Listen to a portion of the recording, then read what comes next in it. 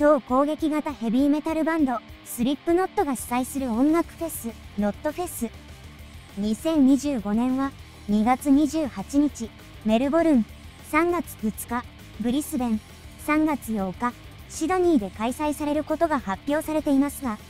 なんと、このノットフェスに、ベビーメタルの出演が発表されました。現時点では、どの日程で出演するかは発表されておりませんので、ノットフェスの公式 X は、こまめにチェックしておくと良いでしょう。それではまた、次の動画でお会いしましょう。